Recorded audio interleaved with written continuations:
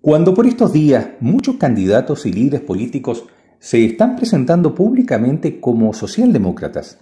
y mientras proliferan los seminarios y conversatorios vía telemática sobre cómo debería ser nuestra nueva Carta Fundamental, me ha surgido una inquietud básica, pregunta que he formulado con insistencia con Tomás en cuánta reunión Zoom he tenido oportunidad de asistir en el último tiempo. A saber, ¿Es posible una constitución socialdemócrata para Chile? Y, de serlo, ¿cómo debería ser esta constitución? Analizando dicha inquietud con diversos profesores de teoría política y derecho constitucional, pero también con un amplio espectro ciudadano interesado en el asunto, he logrado convenir en que al menos existen dos cuestiones básicas que podrían dar un tinte socialdemócrata a una nueva Carta Fundamental. La desconcentración del poder y la desmercantilización de los derechos fundamentales. En efecto, toda constitución cumple un rol primordial en la sociedad al determinar las reglas cardinales de gobierno, estableciendo límites al ejercicio del poder y fijando el margen de acción de cada órgano del Estado. La Constitución sienta así las bases de la democracia y, por consiguiente, resulta clave para lograr una adecuada distribución del poder político. Y con ello me refiero no solo a la repartición del mismo entre los tres poderes tradicionales, ejecutivo, legislativo y judicial, sino a una versión más moderna, conforme la cual, para una mejor democracia, el poder debería distribuirse, por ejemplo, equitativamente entre hombres y mujeres, eliminando todo elemento de discriminación entre géneros, y o favoreciendo procesos de integración de sectores habitualmente desplazados, como es el caso de los pueblos originarios y las minorías de todo tipo.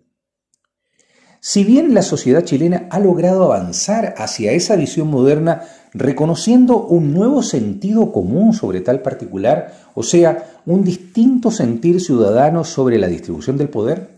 aún queda mucho camino por recorrer. Y materias como la integración en el texto constitucional de principios como el trabajo compartido en los cuidados domésticos, realizado hoy fundamentalmente por las mujeres, o el reconocimiento constitucional de los pueblos indígenas, no cabe duda serán motivo de discusión en el proceso constituyente, considerando que la Constitución debe cumplir también con el difícil cometido de ser el reflejo del palpitar ciudadano, en tanto, para sustentar su legitimidad, debe estar en consonancia con el sentir de la mayoría. Quizás donde el sentir ciudadano mayoritario es más palpable en lo referido a desconcentración del poder, es en el persistentemente aplazado proceso de descentralización cuyo hito más visible es la todavía incierta elección de gobernadores regionales en 2021. De concretarse, la elección de gobernadores regionales implicará un cambio notable en la distribución del poder político nacional, con autoridades regionales electas cuyo ideario podría no coincidir con el del gobierno central, circunstancia absolutamente inédita en más de 200 años de vida independiente y que la nueva constitución debe respaldar y profundizar.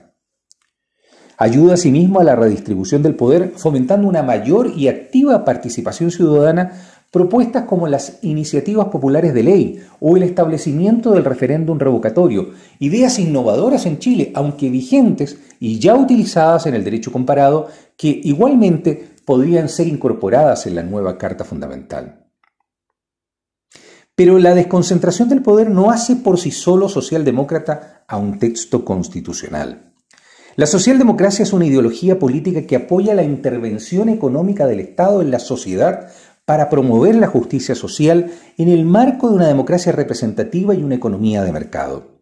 donde medidas para la distribución del ingreso y la regulación de la economía en aras del interés general y del estado de bienestar son una realidad desde que Edward Bernstein, padre de la socialdemocracia moderna, advirtió a comienzo del siglo XX que en una buena ley de empresas puede haber más socialismo que en la nacionalización de todo un conjunto de fábricas.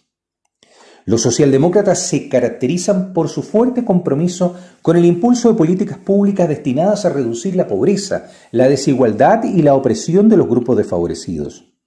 Para la socialdemocracia constituye un objetivo prioritario de gobierno crear las condiciones que permitan, en un régimen democrático, un desarrollo económico y social igualitario y solidario.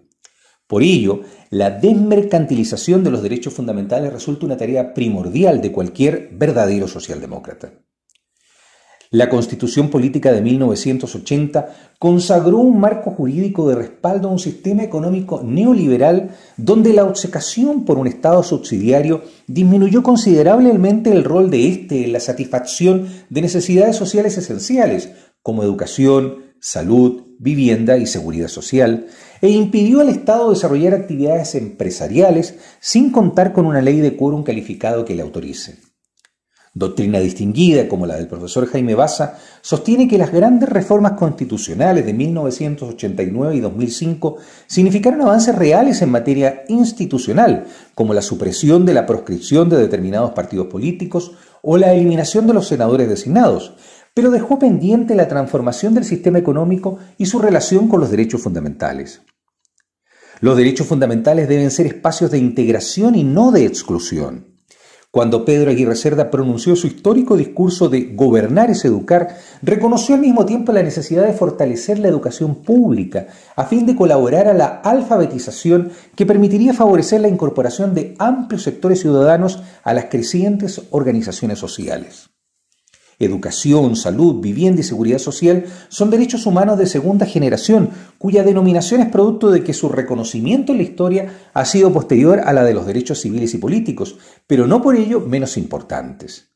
Se trata de derechos económicos, sociales y culturales que merecen protección jurídica, incluso más allá de las legislaciones nacionales, con el objetivo de garantizar el bienestar económico, la educación y la cultura de los seres humanos.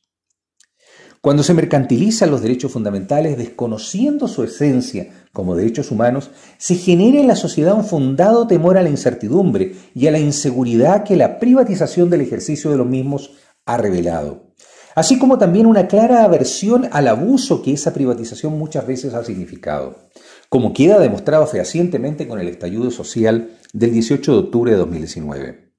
De ahí que apartar al mercado e incorporar al Estado en el ejercicio de los derechos económicos, sociales y culturales será una tarea ineludible de la nueva Carta Fundamental.